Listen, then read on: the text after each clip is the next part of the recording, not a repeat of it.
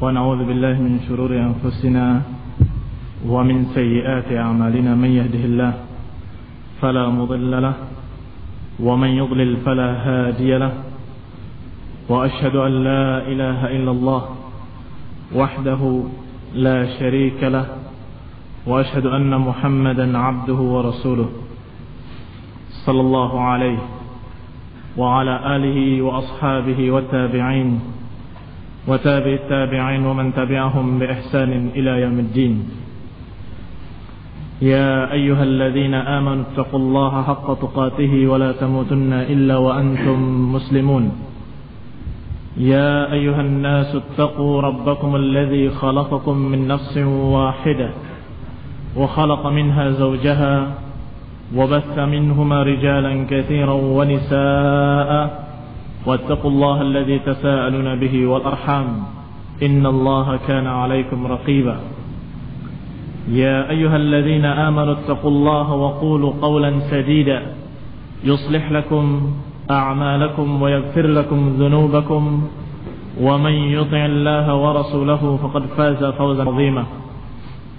أما بعد فإن خير الحديث كتاب الله وخير الهدي هدي محمد صلى الله عليه وسلم وشر الأمور محدثاتها فإن كل محدثة بدعة وكل بدعة ضلالة وكل ضلالة في النار. إخواني في دين عزكم الله. mengatakan hajrus salaf ashkhasan min ahli al-bid'ah bi'ainihim wa majalisihim wa tanfirin nasi anhum wa adamu istima'i minhum wa man masya ma'ahum. Pemboikotan salaf terhadap tokoh-tokoh dari ahli bid'ah. Wa hadru mujalasatihim dan meninggalkan majlis-majlis mereka. Dan melarikan manusia dari mereka. Membuat umat lari dari tokoh-tokoh ahli bidah itu wa adam istima' minhum dan tidak mendengarkan dari mereka ucapan-ucapan. Tidak pula dari orang yang berjalan bersama mereka. Agak mirip dengan bab sebelumnya kecuali ada tambahan hajr di boykotnya. Kana farwa ibn yahya yujalis abdul abdul karim khasifa فقدم عليهم سالم الأفطس من العراق Iraq. Bahwasanya Farwah ibni Yahya dia bermajlis dengan Abdul Karim beberapa saat.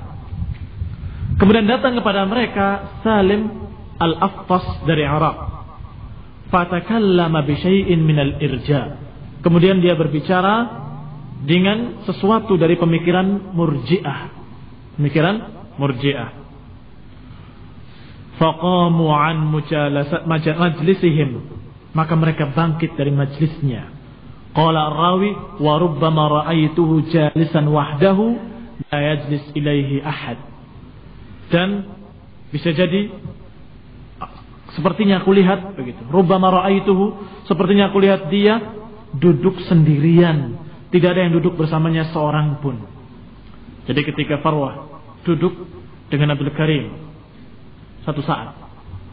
Kemudian ternyata didapati ada tamunya datang kepada dia. Ternyata tamunya berbicara tentang irja, seorang murjiah. Maka teman-temannya semuanya menghindari orang ini. Yang tamunya ternyata murjiah. Sampai-sampai aku lihat dia duduk sendirian, gak ada temannya. Kenapa? Karena ketahuan dia berteman dengan murjiah. Tamunya orang irja.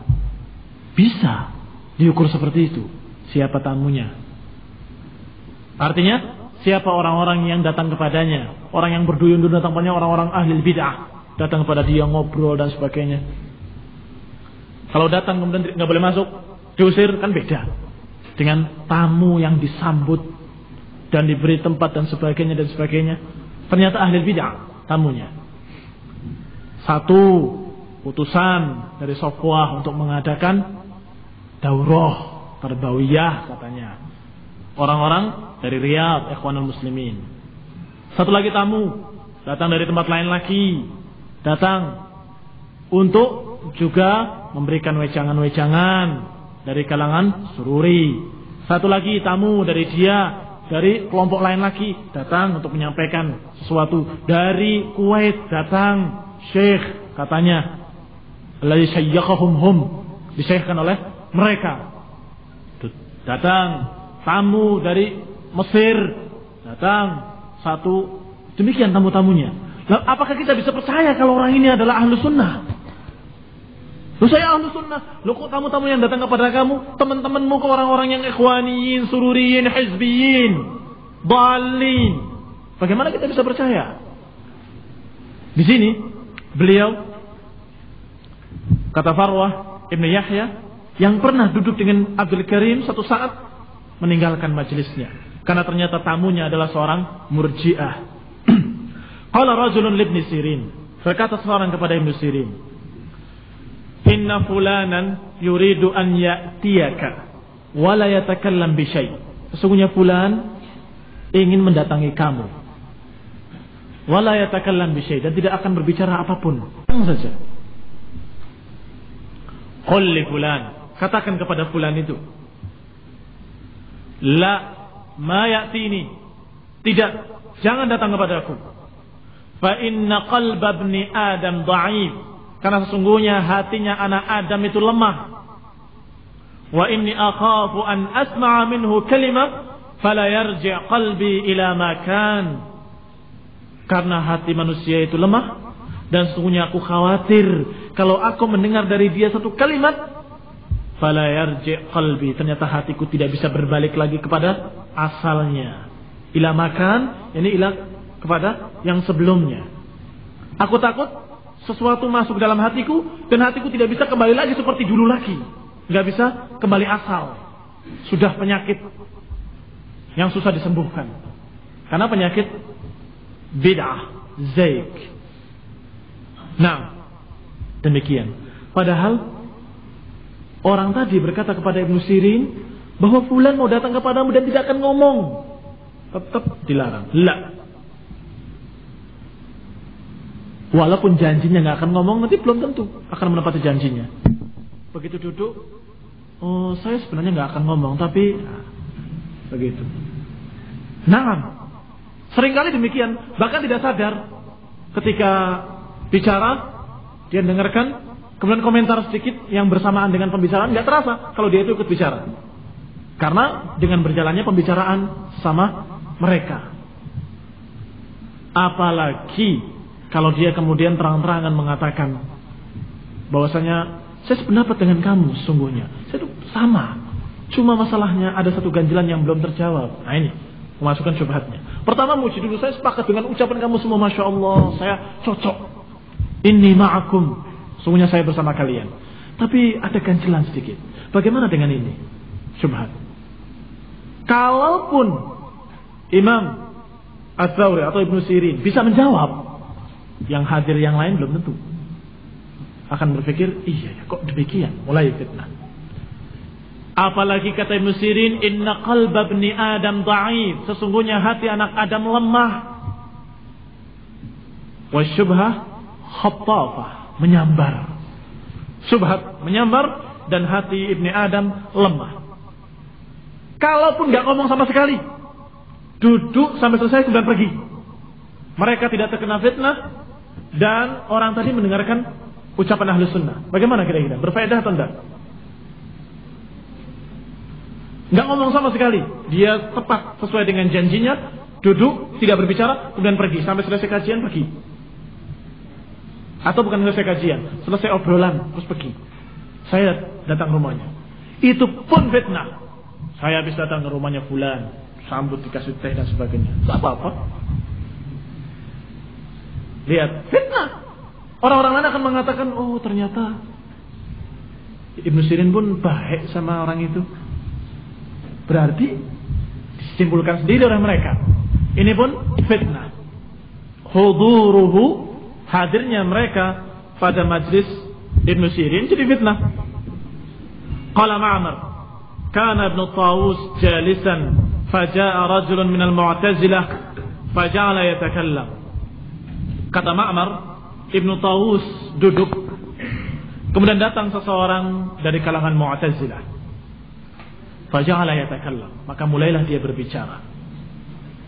Seorang Mu'tazilah ini mulai berbicara. Qal fa'adkhul ibnu fa'adkhala ibnu Tawus isba'aihi fi udhunayhi. Ketika orang itu berbicara, maka Tawus meletakkan dua jemarinya ke dua telinganya. Qala wa qala libnihi dan berkata kepada anaknya, "Ai bunai, adkhil isbu'aika fi udhunaik wasjud wa la tasma min kalamihi syai'a." Dia berkata kepada anaknya, "Wahai anakku, masukkan jarimu ke dalam telingamu dan kencangkan. Jangan kau dengar dari ucapannya sedikit pun." Dianya menutup telinga dan memerintahkan anaknya untuk menutup telinga. Qala Abdul Razzaq Qala li Ibrahim ibn Muhammad ibn Abi Yahya wa kana mu'taziliyan dan bahwasanya orang ini mu'tazili mu'tazilah pemikirannya datang satu orang mu'tazilah Siapa namanya? Ibrahim Ibn Muhammad Ibn Abi Yahya. Cuma ini masih samar-samar. Datang kepada Abdul Razak. Kemudian berkata, Aral mu'tazilah indakum kathir. Katanya. Ya tabas-bas. Berbahasa basi. Hah? Ara mu'tazilah indakum kathir. Aku lihat mu'tazilah di sekitar kamu banyak ya. Katanya begitu. Mulai berbicara. Apa jawaban Abdul Razak? Naam wahum yaz'umuna annaka minhum. Iya. Dan mereka menganggap bahwa kamu termasuk mereka. Langsung dituding di tempat. Qala, "Afala tadkhul ma'i hadzal hanut hatta ukallimuk?" Maukah kamu dan saya duduk di warung ini untuk berbicara? Ukallimuk saya akan berbicara denganmu. Masya Allah, sopan ya. Dengan ucapan, "Afala tadkhul ma'i hadzal hanut hatta ukallimuk?" Maukah? Sudilah kiranya kau masuk bersamaku ke warung ini untuk aku bicara denganmu? Jawabannya, Qultu aku katakan, La, tidak. Lima, kenapa? Kata dia. Qultu li'anna al-qalba dha'if wa dinu laysa liman ghala. Catat dan dihafal jawabannya. La, li'anna al-qalba dha'if wa dinu laysa liman ghala. Karena hati manusia itu lemah dan agama bukan pemilik si pemenang debat. Paham? Artinya bukan yang menang debat itu berarti benar, nggak mesti. Bukanlah din itu bagi pemenang debat kalau dia yang menang berarti din seperti itu. Kalau orang ini yang menang berarti seperti ini din. Lah. Untuk apa? Mau ngajak debat di situ? Lah. Laisa din liman ghalab. Bukanlah agama itu milik sang pemenang debat.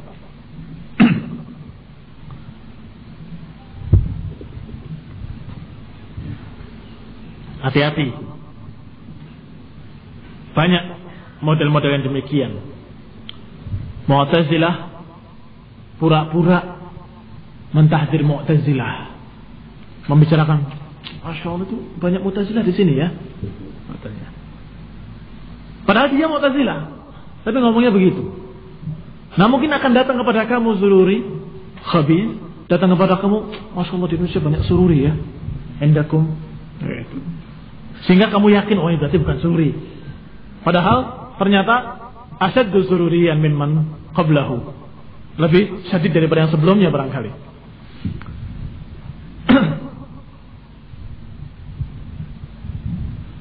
Qala Ibrahim An-Nukhai li Muhammad ibn Sa'ib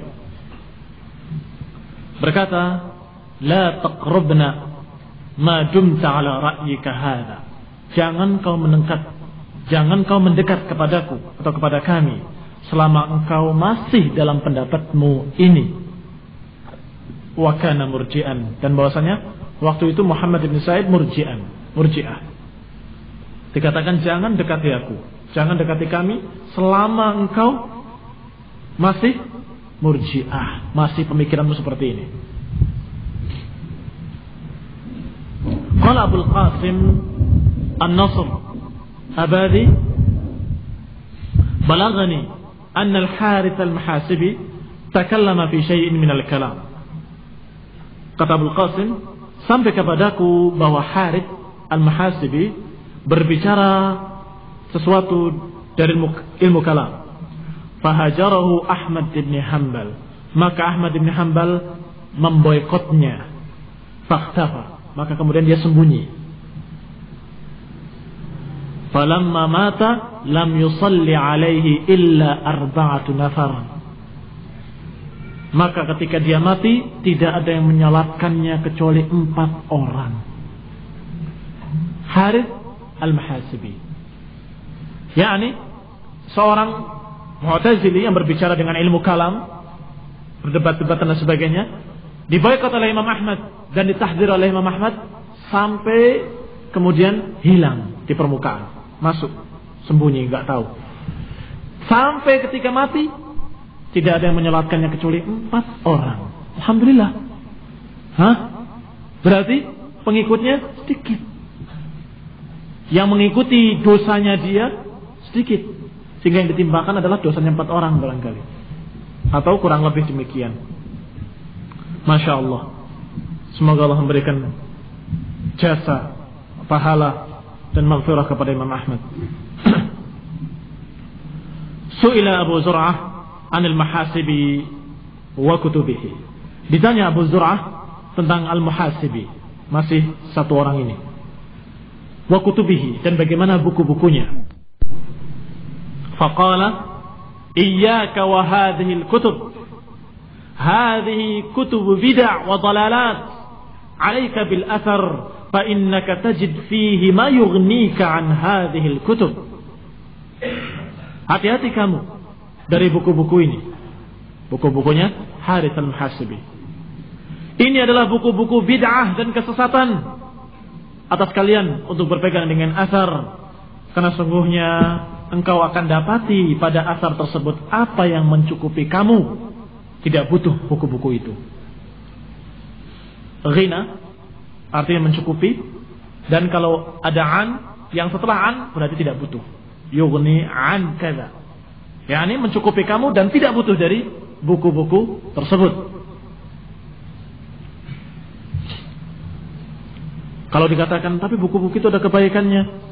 Di dalam asar semua ada insyaallah kebaikannya dan semua yang ada di sana ada dalam asar kenapa perlunya kamu ambil sesuatu dengan resiko. Lebih baik ambil sesuatu yang jelas. Jelas, murni, yaitu asar dari Rasulullah dan para sahabat. Qila lahu, dikatakan kepadanya, fi hadhil kutub ibrah, katanya. Ketika Abu Zurah mengatakan, hadhihi kutub dalalat, ini buku-buku sesat. Dijawab, Fi hadil kutub ibrah. Dalam buku itu ada ibrah-ibrah. Ada pelajaran-pelajaran yang bisa kita ambil. Apa jawaban Abu Zur'ah? Man lam yakun lahu fi kitabillahi ibrah. Falaysa lahu fi hadihi ibrah. Barang siapa yang tidak memiliki ibrah dalam kitab Allah. Yani barang siapa yang tidak bisa mengambil pelajaran. Dari kitab Allah. Maka dia tidak akan bisa mengambil pelajaran dari buku-buku ini. Thumma qala ma asra'an nas ilal bid'ah. Betapa cepatnya manusia kepada bid'ah. Nah, artinya kenapa kamu tidak ambil ibrah dari kitab Al-Qur'an dan sunnah? Di antara ibrah yang kita ambil dari Quran dan sunnah adalah tahdir dari mujalasat ahli bidah. Itu ibrah yang kita ambil dari Quran dan sunnah. Barang siapa tidak bisa mengambil ibrah dari Quran dan Sunnah, apalagi dari ucapan lain. Kalau sudah bisa mengambil dari Quran dan Sunnah, untuk apa ucapan lain? Ya. Kalau dia tidak bisa mengambil ibrah dari Quran dan Sunnah, apalagi mau mengambil dari ucapan lain. Kalau dia sudah bisa mengambil ibrah dari Quran dan Sunnah, untuk apa ucapan yang lain? Ucapan-ucapan bid'ah dan dalalat, buku-buku sesat. Ucapan-ucapan para ulama menjelaskan Quran dan Sunnah. Bukan menentang. Berarti tahdir terhadap ahli bidah juga terhadap tulisan-tulisannya dan buku-bukunya. Rawal Khatib Al-Baghdadi bisanadin sahihin. Diriwayatkan oleh Khatib Al-Baghdadi dengan sanad yang sahih bahwa Imam Ahmad mendengar ucapan Al-Mahasibi kemudian berkata kepada sebagian sahabatnya, "Ma sami'tu fil haqa'iqi mithla kalami hadzal rajul wala ara laka suhbatuhum." Aku tidak pernah mendengar ilmu hakikat yang seperti ucapan orang ini. Aku tidak pernah mendengarkan hakikat-hakikat seperti ucapan orang ini. Terkesan seperti pujian loh. Tapi dia berkata, "Wala ara laka suhbatuhum" dan aku tidak berpendapat untuk kalian bersahabat dengan mereka. Aku tidak pernah melihat ucapan seperti ini. Tapi aku tetap berpendapat jangan duduk dengan mereka. Artinya apa? Tidak tertipu dengan ucapan-ucapannya. Tidak tertipu dengan ebrah-ebrah yang disampaikannya. Kalau dia sudah seorang yang mubtadi' dhal. Jangan tertipu dengan itunya. Jadi ini akan akan dikisahkan insyaallah ucapan atau kisah Harith Al-Mahasibi ini yang Imam Ahmad penasaran bagaimana sih ucapannya. Apa yang dia ucapkan? Untuk mendengarkan. Tapi ternyata setelah mendengarkan ucapannya bagus sampai Imam Ahmad ikut menangis. Bagaimana kata muridnya yang Bagaimana pendapatmu tentang ucapannya? Demi Allah, seperti ucapan tadi ini. Aku tidak pernah mendengarkan ucapan hakikat seperti ucapan orang ini. Tapi aku berpendapat engkau jangan duduk dengan dia. Ini menunjukkan kalau ukuran seorang itu bolehkah kita bermajlis dengan dia atau tidak ukurannya adalah apakah dia mubtadi' ahli bid'ah atau ahli sunnah itu ukurannya bukan apakah ucapannya bisa membuat orang menangis atau tidak bukan itu ukurannya Qadima Dawud al-Asbahani Qadima al-Baghdad. Beliau mendatangi Baghdad. Wa kana bainahu wa bain Salih ibn. Dan antara Daud dengan Saleh anaknya Imam Ahmad itu ada hubungan baik. Fakallama Salihan an yatalattaf lahu fil istizan ala abihi. Maka Daud berkata kepada Saleh, agar dia ya talattaf berbicara dengan lembut kepada bapaknya agar mengizinkan dia untuk bertemu. Jadi Daud al-Asbahani ingin bertemu Imam Ahmad melalui anaknya Saleh. Wahai Saleh, sampaikan pada kamu apa sampaikan pada bapakmu dengan lembut bahwa aku ingin bertemu. Usahakan supaya saya bisa ketemu. Fa'ata Salihun abahu. Maka datanglah Saleh kepada bapaknya. Faqala lahu maka berkatalah kepadanya Saleh rajulun yas'aluni an ya'tiyaka ada seseorang yang memintaku izin atau memintakan kepadamu izin melaluiku an ya'tiyaka untuk datang kepadamu apa jawaban bapaknya masmuhu siapa namanya Daud Min aina? Dari mana dia? Qala min ahli min ahli Asbahan, dari penduduk Asbahan. Ini Daud al-Asbahani. Qala ay syai'in sina'atuhu?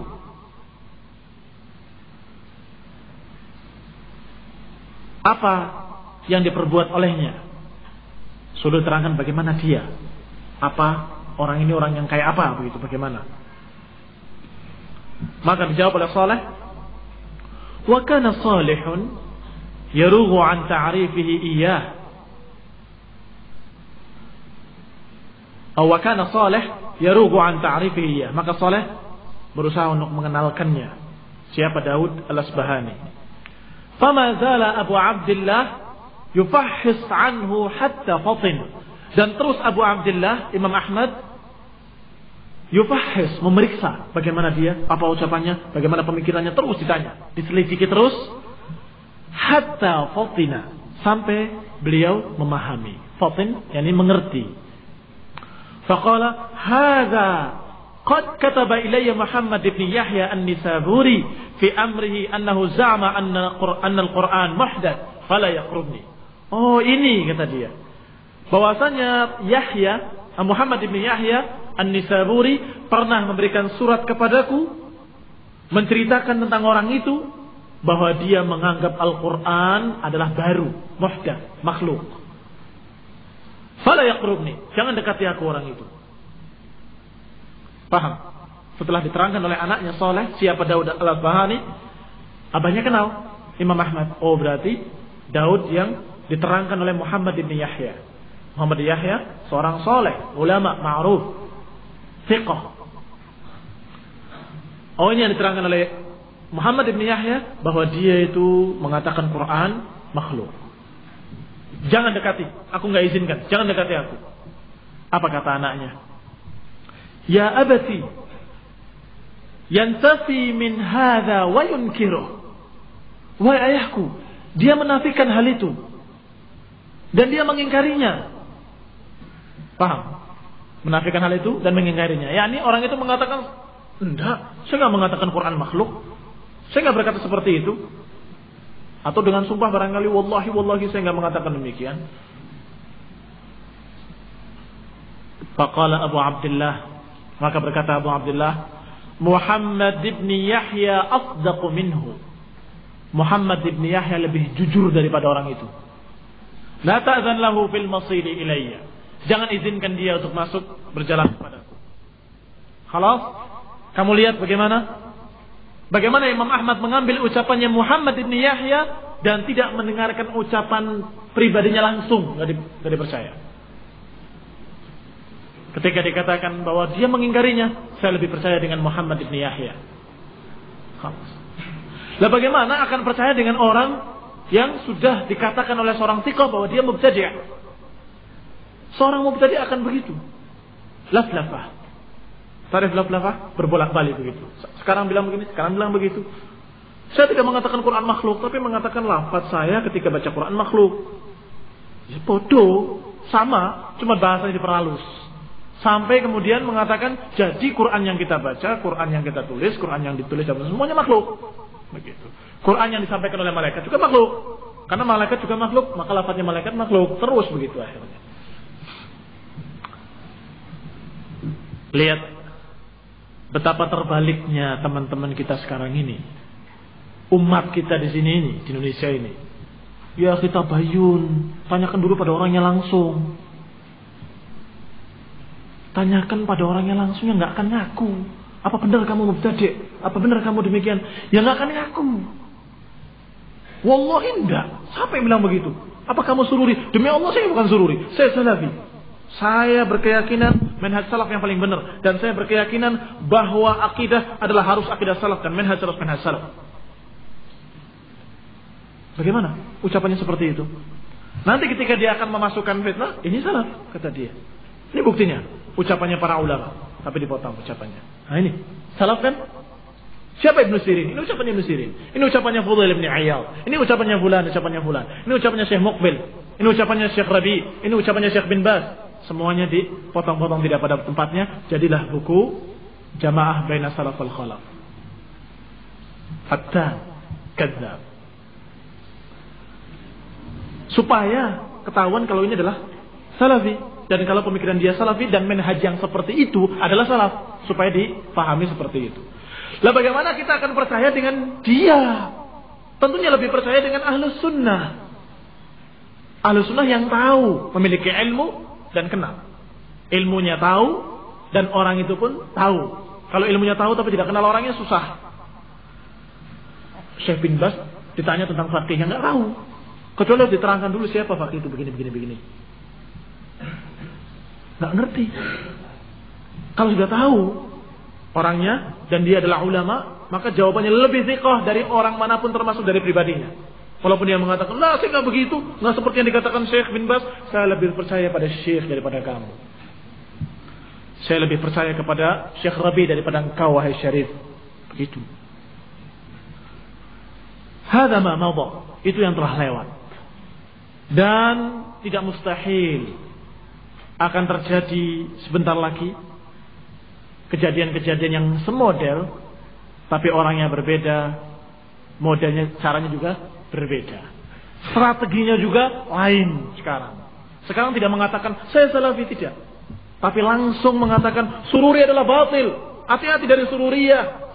Terus begitu bermajlis dengan majlis-majlis besar untuk mentahdir dari sururiyah. Padahal dia sururi. Bisa. Seperti kejadian di Saudi kemarin ini. Seorang yang terkenal tokohnya seluruh datang ke Amir Majid, gubernur Madinah, memperingatkan hati-hati dari Suriah, berbahaya dan sebagainya, menerangkan tahdir dari Suriah. Bingung orang yang menyaksikannya, loh kok begini? Taubat, berubah, atau bingung masyarakat. Apa dia taubat, apa dia berubah, apa dia begini. Tapi tetap dalam keadaan. Sudah ya sudah. قال عبد الله Umar عمر السرخسي أكلت عند صاحب bid'atin أكلة فبلغ ذلك ابن مبارك فقال لا كلمته ثلاثين 30 yawman. عبد الله ibni عمر السرخسي أكل aku makan صاحب sisi أكلة أكو pernah makan di tempatnya ahli bid'ah sekali makan saja. Fabalagha dzalika Ibnu Mubarak, kemudian terdengar yang demikian oleh Ibnu Mubarak. Faqala la kallamtuhu 30 yauman. Aku tidak akan mengajak bicara dia 30 hari. Dihukum oleh Ibnu Mubarak. Orang tadi. Ahlu sunnah termasuk muridnya tapi ketika ketahuan makan di tempatnya ahli bidah sekali. Diboykot oleh gurunya 30 hari tidak diajak bicara. Qala al-Firyabi, berkata Firyabi, "Kana Sufyan ats-Tsauri yanhani an mujalasati fulan." yakni rajulan min ahli bidah. Ini sudah dinukil tadi. Bahwasanya Sufyan ats-Tsauri melarangku untuk bermujalasah dengan ahli bidah. Dakhala rajulan min ashabil ahwa ala ibn Sirin.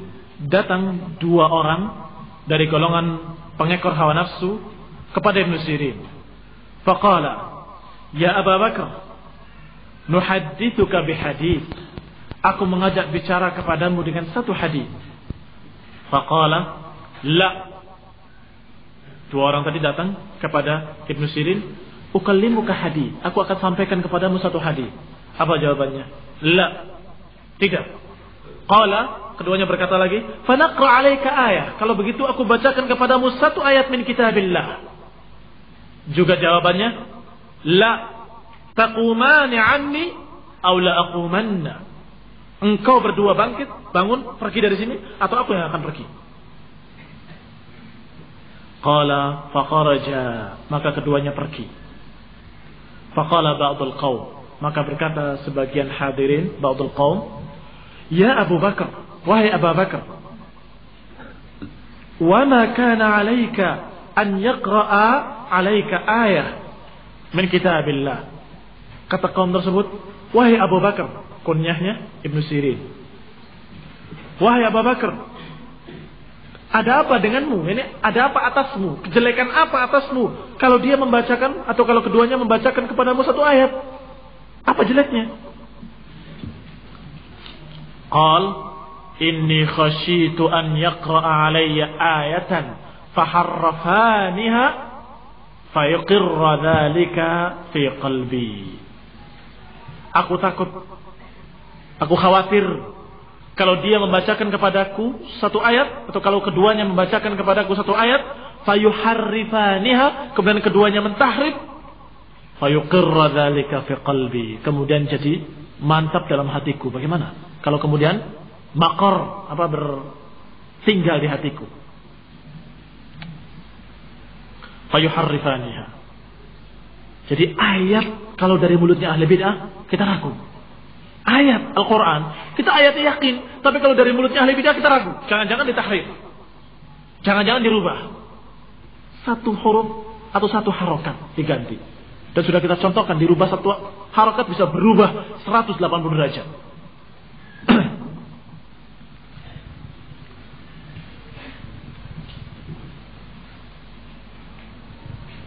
قال الفضيل ibn عياض Iyaka an tajlis ma'a man yufsid 'alaika qalbak Hati-hati kamu untuk duduk dengan orang yang merusak hatimu.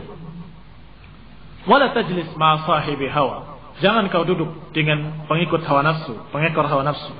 Fa inni akhafu 'alaika maqtullah. Karena aku khawatir, mengkhawatirkan atasmu kemurkaan Allah. Ayo. Sal itu ya. Baik. Qala sallam. Berkata sallam. Wa qala rajulun min ashabil ahwa. Berkata seseorang dari ashabul ahwa kepada Ayyub. Ayyub as-Sikhtiyani rahimahullah. As'aluka an kalimah. Aku bertanya kepadamu satu kalimat. Fawalla Ayyub. Maka Ayyub berpaling. Sambil berkata. La wala nisfa kalimah. Tidak, walaupun setengah kalimat wala nisfa kalimah, tidak walaupun setengah kalimat. Marratain yushiru bi asbu'ihi. Dua kali dia ucapkan dengan mengisyaratkan dengan jarinya.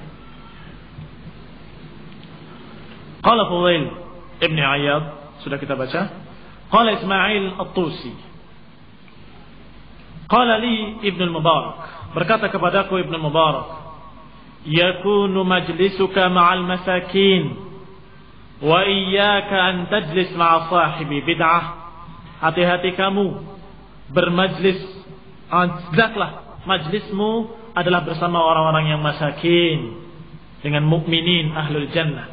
Mereka masakin karena mereka ghuraba.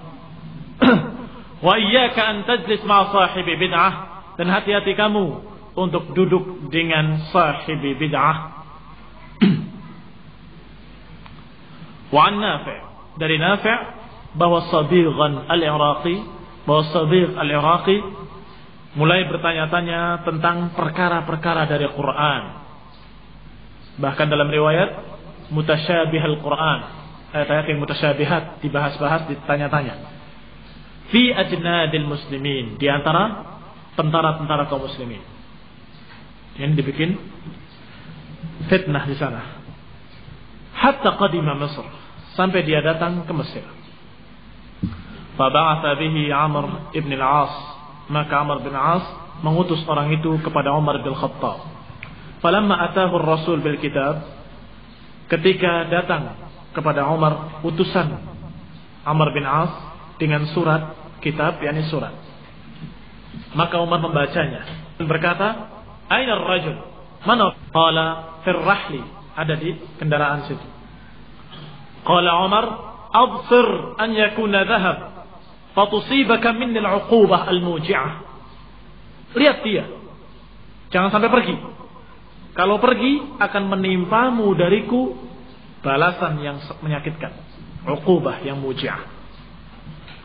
Fatahu bihi, maka didatangkanlah orang itu. Faqala Umar, maka Umar berkata, "Tas'al muhdatsah?" Engkau bertanya-tanya tentang yang muhdats?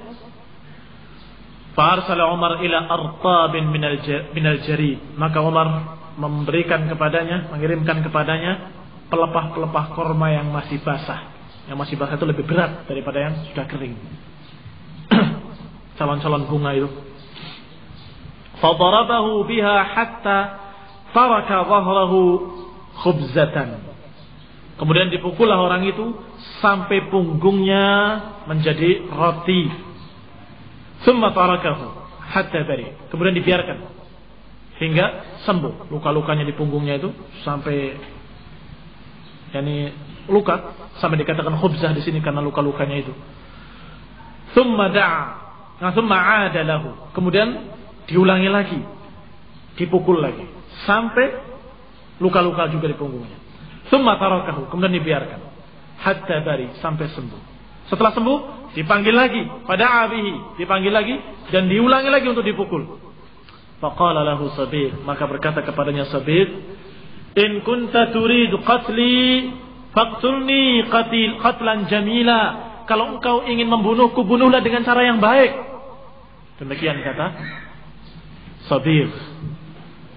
Wa in kunta turid tudawini an tudawini faqad wallahi bari'tu. Tapi kalau engkau ingin menyembuhkan aku, maka demi Allah, aku sekarang sudah sembuh. yakni dalam riwayat dhahaba alladhi ma fi ra'si kata dia. Telah hilang apa yang ada di kepalaku. Fa adina lahu ila ardih. Maka diizinkan dia pulang ke negerinya ke tempatnya.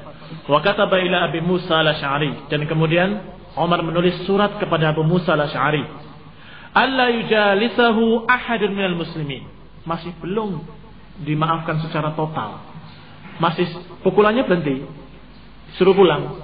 Tapi tetap umat dijauhkan dari orang ini.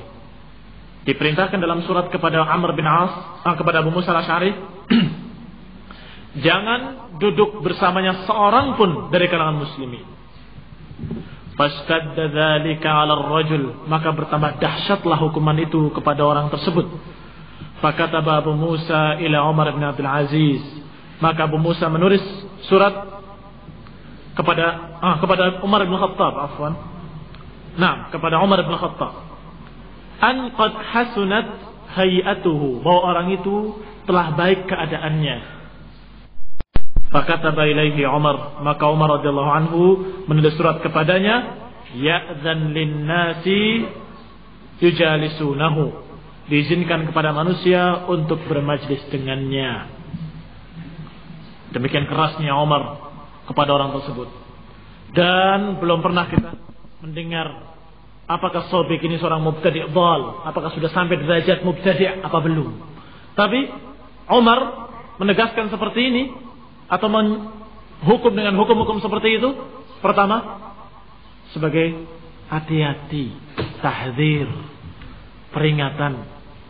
Jadi ada dua macam sesungguhnya tahdir atau hijran, apa pemboikotan, tidak diajak bicara, tidak ditemui dan sebagainya. Ini ada dua jenis. Satu atau dua sebab. Satu keselamatan umat dari fitnah orang tersebut. Dua hukuman buat orang tersebut. Kadang-kadang sekaligus dua-duanya. Kadang-kadang salah satunya. Artinya kadang-kadang seorang itu ditahdir tapi bukan ahli bid'ah. Bisa jadi. Jangan heran. Lu kenapa Ustaz mentafsir dia apa dia ahli bid'ah? Bukan. Tapi telah terlihat fitnah-fitnah yang keluar dari dia dan bahaya. Maka umat dihindarkan dan hukuman buat dia. Agar la'allahu an yaskut min kalami. Semoga dia mau diam dari ucapan-ucapannya itu. Apalagi yang jelas mubtadi' maka dua-duanya sekaligus ditahdir supaya orang itu selamat dari fitnah orang ini dan orang itu juga terhukum di samping dosanya pun semakin ringan tentunya.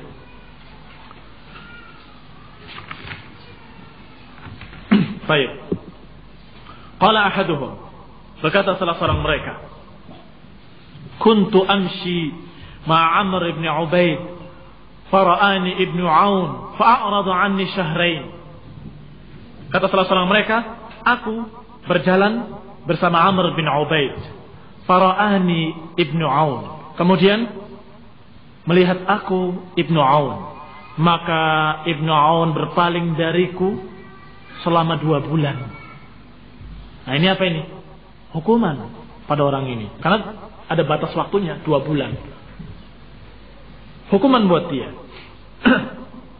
nah, sehingga kalau ada fatwa dari ulama bahwa memboikot ahli bid'ah itu dulu ketika ahli sunnah itu mayoritas dan ahli bid'ah itu sedikit sehingga kalau diboikot itu betul-betul tersisa mereka tidak ada yang duduk dengannya seorang pun bahkan kadang-kadang ikut satu dua malah yang menyolatkan cuma empat orang bisa demikian. Kalau sekarang kita memboikot ahli bidah nggak mungkin karena mereka lebih banyak daripada kita. Kita memboikot malah kita yang diboikot karena kita sedikit.